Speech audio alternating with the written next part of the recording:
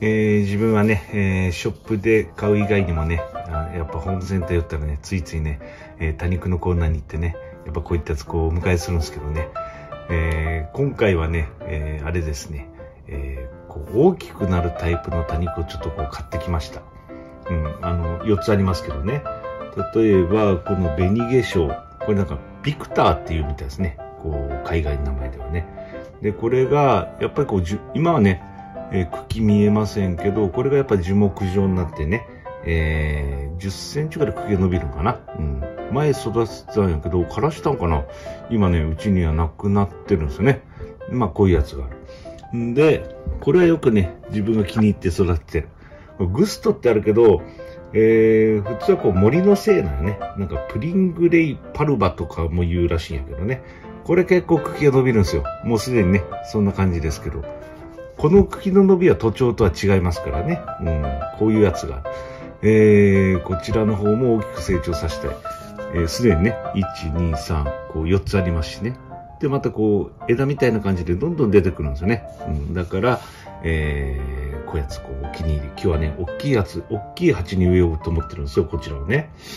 んで、えー、これも久々やな。うん。これがね、ハムシ、えー、花の司とも言うのね。これちょっとこう、えー、モケモケっとして、ね、こう、葉先だけがこう赤いよね。これがね、えー、30センチぐらいの大きさになるかな。うん。で、こう、枝が結構出るのね。うん、枝が結構ね。で、まあこれもまた1、2、3個ありますからね。えー、結構どんどん増えていくでしょう。ここら辺がね、もうすでにこう、えー、枝がこの後張っていくんだろうなっていうのはね、大方こう想像できるんですけどね。こうハムシ。なかなかいいですよ。最近こういったこう、なんか原種はあんまり見かけないよね。後輩が多くてですね。うん、だから、えー、こういうやつね、うん、逆に珍しくなってるとかね、えー、そんな感じ。それと、えー、まあ、これを3つはね、あれですね、角と六甲山やけど、これがまた違うところでね、これがまあ茎がないんやけど、こちらの方が紅葉するとこう黄色になってね、まあゴールデンってついてるからですかね、黄色になって、こう葉先がピンク。これはまあピンクですね、すでにね。えこういうやつ。で、こちらの方がやっぱりこう成長とともにこう茎立ちして、こう根元の方にね、えー、小株が出てこう群生する。そういう感じです。だからこちらにあるやつは、えー、大きくしながら、こう枝が出たり小株が出たりしてね、えー、後々ほら、カットしてね、寄せ豊かにもこう、つけやすいかなとか、えー、そういったこう、品種になりますね、こちらはね。だからこちらの方を、えー、今回ね、えー、これまあ、2.5寸ぐらいかな。こっちちょっと大きいんですけどね。えー、こちらの方をちょっとね、えー、植え替えていこうと思います。えー、使うのはね、え、この A の35。もうボラ石を入れてますけど、鉢底石にね。普段、普段自分はこれだね。A25、このサイズですけど、これぐらいの大きさにね、え、植えていこうと思います。大体ね、えー、植え替えて、こう、少しずつサイズアップするのがいいんですけどね。まあ今回は、まあ水やり等注意しながらね、えー、やっていけば、まあ大丈夫じゃねえかなと。いきなり大きい鉢にすると、やっぱりちょっとね、えー、形が崩れたりとか、っぱいろいろあるんですよね。うん、だけど、まあ、ちょっとそこらへんね、え、自分なりに注意しながら、こう、やろうかなと思ってます。今回はね。あんまりもう根を取らんはいいかな。大きく成長させたいからですね。うん。ちょっと軽くね、それでも、ちょっとこう、軽く取ってあげて、根が巻いたりしてる場合もありますからね。うん、だから軽くちょっと取ってあげます。こんな感じでね。そして、普段はね、あれですね、あの、こういうね、えー、赤玉ボラとかね、えー、そういったのを中心した、えー、土なんですけど、ちょっとまあ、先にちょろっとはこう入れますけどね、後々の排水とかもあるんで、こう入れるけど、え、メインはね、こっちのね、え、あれですね、これ観葉植物用の土やな。こちらにね、え、植えていこうと思ってます。そして、よいしょ。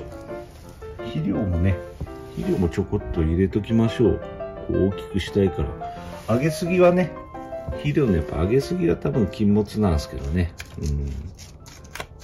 ね、こちらの方に、えウルトラもちょっとやっといて、んで、えー、あれですね、ゼオライト。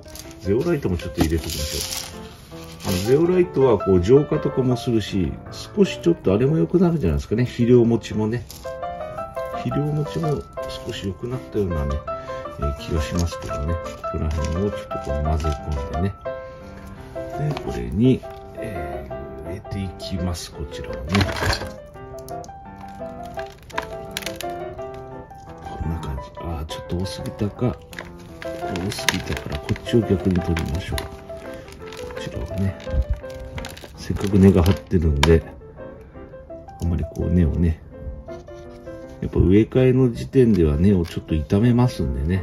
うん。だから、ちょっとこちらね、こういうふうにやって、これで植えていきましょう。だから少しちょっと水やりは、他のやつとはちょっと気をつけなきゃいけないかもしれないですね。うん。こっちの方が水持ちが随分いいやろうからですね。よいしょ。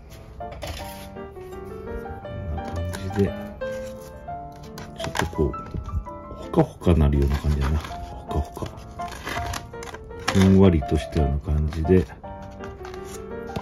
あ、ちょっとね、こう叩いて、こう活着を良くするというかね、空撃が出ないように叩きましょう。あまり押さえ込んでもね、ちょっとあれなので、軽くこう叩いて、で、ちょっと表面だけね、えー、土を落ち着かせるために、ちょっと軽くね、えー、これを入れていきましょう。あの、いつものね、配合を入れて、こういうふうに、あの、培養土とかいろいろ入ってると、水やりした時にこう、ぷかぷかなんか浮いてきたりとか、あれがあまり自分が好きじゃないよな。うん、だからちょっとこういうのでね、えー、表面だけはちょっと落ち着かせる。こういう感じでね、えー、植えました。まあ、他のやつもね、えー、似たような感じでね、こうやっていこうと思いますけど、ちょっと大きくしてね、えー、寄せ植えとかに使う、こう、材料取りというかね、えー、そういう感じにね、えー、したいなというふうにこう思ってます。まずゴールデングロー。全く今時点ではね、茎がないんですけど、まあ、こう、茎立ちして伸びていくんだと思います。はい。これをね、えー、残りもね、えー、ちょっと、もう同じ手順なんで、えー、取りませんけどね、えこういう感じでちょっと植えていきたいと思います。はい、えー、こんな感じでね、え、4つともね、植え終わりました。やっぱりあれですね、え、鉢が大きいと、やっぱ迫力が出ますね。うん。自分は大体ね、こう、コンパクトに育てる花やけどね、え、こういうふうにね、えー、大きいやつに、え、植えるっていうことは、こう、あんまりないんですけどね、え、なかなかいいなと、これはこれでなかなかいいなと、こう、思いました。あとはね、うん、あの、変な感じでね、こう、成長させないように、こう、え、パッとこう、開いたりしないように、こう、やっぱりこう、締めつつね、締めつつしっかりね、えー、成長させていきたいな、そういうふうに考えてますんで、えー、しっかりね、えー、まあ今からね、春になってまた時期も良くなるんでね、えそこら辺ちょっと考えながらね、えしっかり育成したいと思います。はい、ということで、え今日の動画終わりたいと思います。えチャンネル登録とかね、高評価していただけると、え投稿の励みになりますので、えお願いしたいと思います。それではまたね、次回の動画でお会いしましょう。さようなら。